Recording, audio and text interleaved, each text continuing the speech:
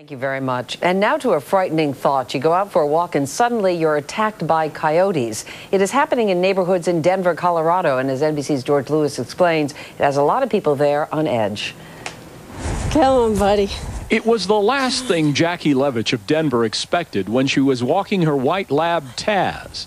Suddenly, three coyotes attacked her and her dog on the street where she lives. I pushed back and kind of fought the couple of them off and kind of got bit on the arm a little bit and just basically fought them off and they ran away. She's now undergoing a series of anti-rabies shots. Matthew Shepper was in this city park in Greenwood Village, 10 miles south of Denver, when a coyote went after him. It jumped up at my face or, or throat. So then I guess my subconscious mind took over and I elbowed it to the side and it fell to my left and just took off. Matthew escaped unharmed, but his mother says she's scared about what may happen next. Our kids can't walk to school. We can't walk to the park. So we're now kind of held prisoner by these things that don't have a predator and are aggressive and don't fear us. The city of Greenwood Village hired a sharpshooter to begin killing the coyotes.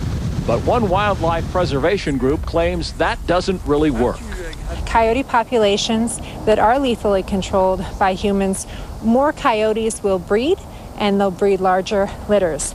It's a problem throughout the West where man has encroached on the wide open spaces, spaces the coyotes still consider their territory. So, what should people do if they encounter coyotes? Don't run, but stand, stand your ground and tell that coyote, get back, get back, go away. Be aggressive, yell at it, say, get out of here. Now, communities gripped by fear of the coyotes are trying to make them fearful of humans. For today, George Lewis, NBC News, Denver.